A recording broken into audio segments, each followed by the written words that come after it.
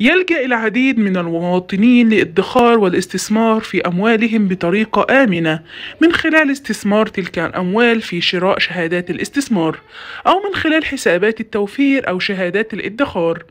بينما هناك ودائع بينما هناك ودائع في الأوعية الإدخارية المختلفة المطروحة في البنوك العامة في سوق المحلي ومن ضمن الأوعية الاستثمارية التي يمكن للمواطن استثمار أمواله بها أدوات الدين الحكومية أو سندات وخزانات التي تطرحها البنوك في كل أسبوع.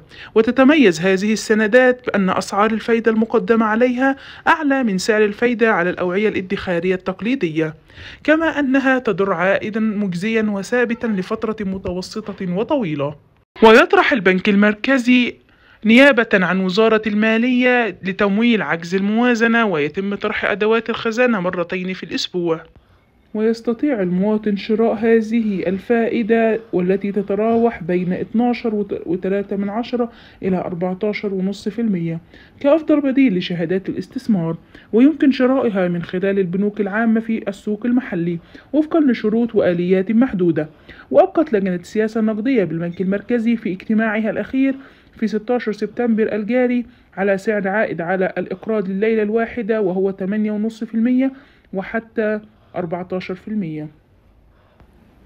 المدة التي تتراوح عليها سعر الفايدة تصل إلى أكثر من 15 عام فهي طريقة طويلة الأجل بينما تتراوح أسعار الفايدة المقدمة على سندات الخزانة 14.3% بينما تتراوح أسعار الفايدة إلى ثلاث سنوات فقط وهي 14.5% أما السندات الخزانة فقد تتراوح إلى 15 عام. تتراوح أسعار الفايدة المقدمة على أزمات الخزانة إلى 12.3% بينما تبلغ إلى مدة 91 عام 12% لأدوات الخزانة التي تبلغ 237 يوما. مدة أدوات الخزانة بين 3 شهور وحتى 9 شهور وهي مدة قصيرة الأجل لذلك الفايدة عليها مرتفعة. ويحصل العميل على الفائدة المقدمة على أذون الخزانة مقدما وبنهاية مدتها يحصل على المبلغ الذي تم شراؤه بها.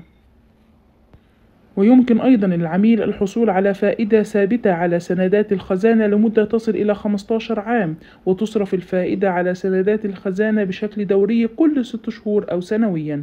الفائدة على أذون وسندات الخزانة ثابتة دون تغيير حتى انتهاء آجالها. ويمكن للأفراد والشركات المصريين أو الأجانب البنوك السيدات والرجال استخدام هذه الفائدة في البنك المركزي المصري. يجب ألا يقل الحد الأدنى لشراء أذون الخزانة عن خمسة وعشرين ألف جنيه وبالنسبة لسندات الخزانة الحد الأدنى للشراء ألف جنيه. يقوم العميل أو الشركة الراغبة في الاستثمار في أذون سندات الخزانة بالتعامل مع خلال التعامل من خلال البنك التابع له لشراء أذون أو سندات الخزانة من خلال البنك ويمكن توجيه العميل أو الشركة الراغبة للمعاملة معه في هذه الأمور من الساعة العاشرة صباحا.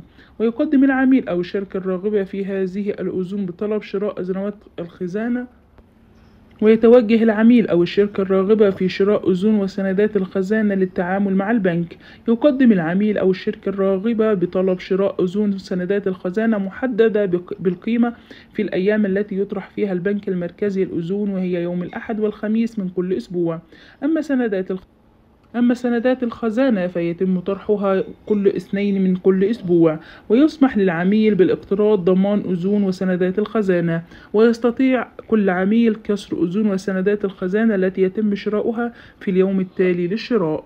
بكده نكون وصلنا لنهاية الفيديو متنساش تدعمنا بلايك والاشتراك في القناة والسلام عليكم ورحمة الله وبركاته.